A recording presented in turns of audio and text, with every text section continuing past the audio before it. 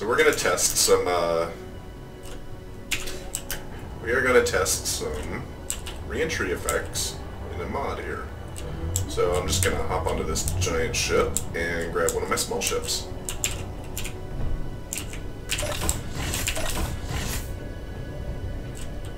Hop in here. Open both the hangars.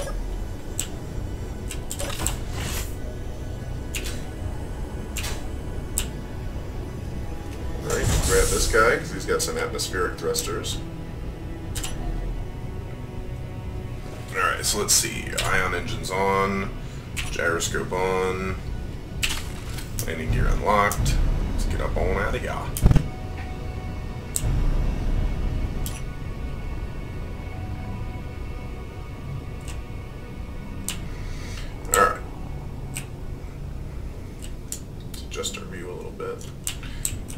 We're going to try to hit the planet with a little tangential velocity here. Try to skim off the atmosphere a little bit, and activate the hydrogen engines. And I know we're not burning any hydrogen here, but we're not in creative mode. I just have an oxygen generator on board. Let's turn off the dampers. Let's see, I hit it earlier at about 800 meters per second. and I was testing, and that straight destroyed this ship. So we're going to try to hit it a little bit lower than that. Remember to up our vector a little bit so we don't come in too steep. So we'll see about how about 500 does. We'll let those ones off and those ones off. There we go. Alright, so we're going to coast on down here. To see, uh, see if this ship can survive some re-entry heat.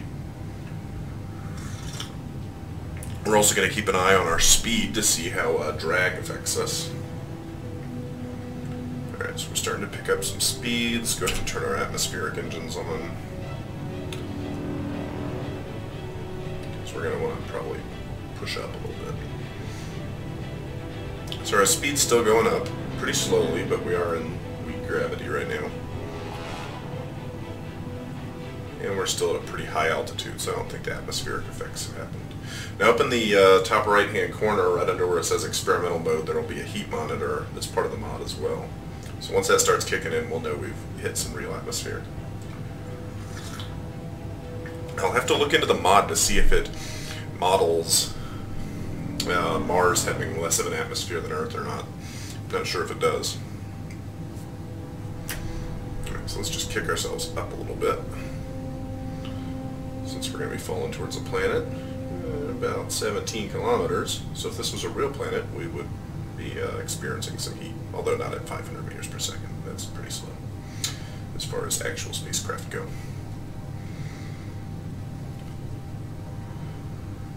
Since I've got the atmospheric thrusters on here too, they should engage as well. Alright, there's our heat monitor. We're picking up some heat. We're still picking up speed. Pretty quickly. Heat levels rising pretty significantly. We're now losing speed despite falling into an atmosphere. Heat's picking up even more. I think we're going to burn up. Let's go ahead and turn our dampers on, see if they can help any. Uh, we're going to turn off the ion engines because they're not that helpful. Try to level out. See that little bit of smoke coming off us there? Heat levels still... Oh, now it's starting to fall. I think we might have survived without breaking anything. 5 and turn off our forward engines. So all of our speed loss here is due to the mod at this point, because we're not... Our forward engines are turned off. Experiencing it there. There's some heat and everything, but we are in fact losing speed, even though we're now pointing down. We only have upward-facing engines. Well, something got damaged. I saw some electrical sparking there. We'll land here on the planet and see if uh, see if we can't figure out if anything's broken. Let's re-engage our reversing engines. And we'll lose a little bit of altitude. So this looks like a pretty good test so far. It looks like the atmosphere is going to, in fact, slow you down some. Something definitely got damaged, though.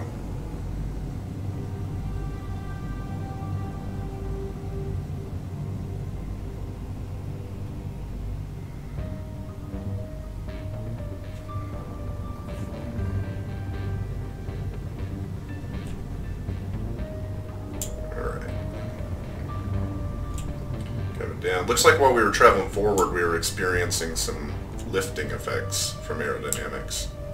So that's pretty interesting that that works as well. Have some really interesting designs on that. Not sure how well a plane would work or anything, but it could be worth a shot. As you saw, we really weren't falling that fast, even though I was holding down C. But then once we stopped moving forward, we fell a lot faster. Alright, so let's just set her down semi-gently. See what's going on here. Turn off those engines, we'll turn off the gyroscope. Pop out and see what got damaged. Do not have any tools. No, I just have the base ones. Respawned into this world after a long time. Character tools, there we go. So let's see, uh, our spotlight took some damage. Ore detector took a little bit of damage, but nothing actually got broken on it, so that's nice.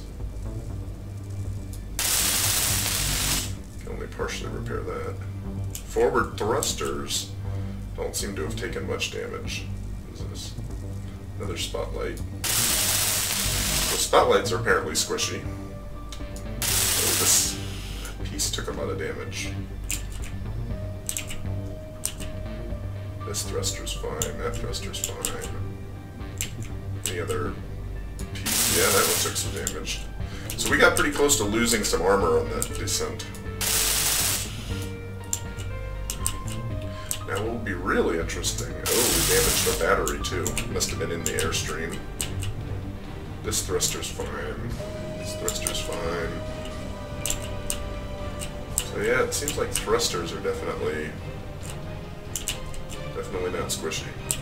This battery's damaged a little bit as well. Did our cockpit receive any? One steel plate worth. One steel plate of damage on the cockpit. How about that? So this, that piece wasn't shielded. You see the airstrip could go over it, but this piece was shielded.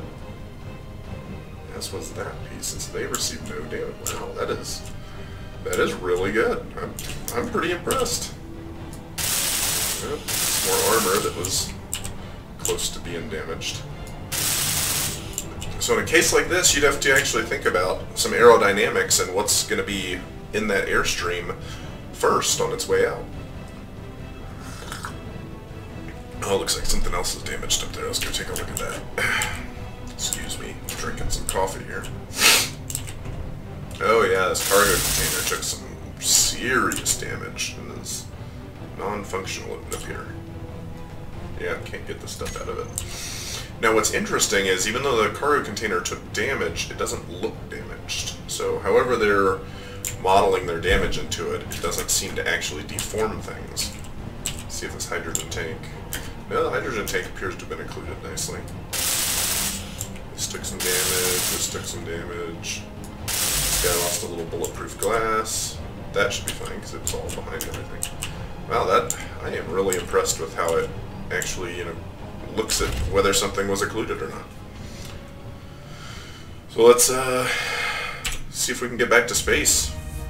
Or not. uh, we'll turn off the reverse engines. Oh, something's not pleased. Oh, that's just dirt kicking up. Okay, that's no. Alright, so where's our spaceship? It's up there, 90 kilometers away. Let's just pick up some altitude. So we're picking up a little bit of heat just from uh, just from increasing altitude here. Since we're moving now 140 meters per second to the atmosphere. But considering that that top heat's only at 40 versus the like 800 that I think it hit on descent, uh, things could be worse. Could be worse.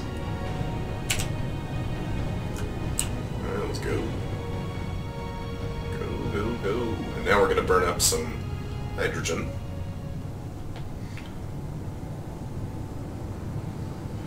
Because our cargo container is broken. Since it's broken, the oxygen generator can't get to the ice.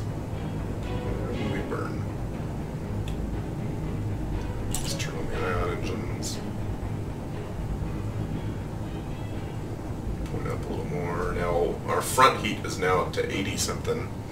Going about 230 meters per second through the atmosphere here. You're pretty high up now, though, almost 10 kilometers. Let's just let off on the engines, turn off the dampers, and coast a little bit. Now we should, of course, I don't know about at 12 kilometers anymore, but we should have been experiencing some drag on there, which was probably why it was so hard to get going, really.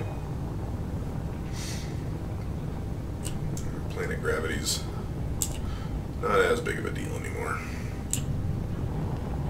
Start burning kind of in the direction of our home. Burned a lot of our hydrogen fuel. Or if the oxygen generator was actually damaged. The oxygen generator, oh, so the oxygen generator wasn't damaged, but it can't get to those thrusters anymore because the cargo container is broken.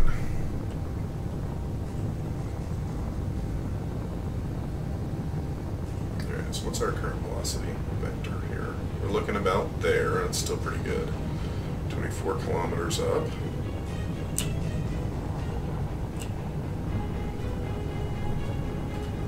Now 24 kilometers up. So it looks like we'll have no problem uh, escaping out of this, so that's good news.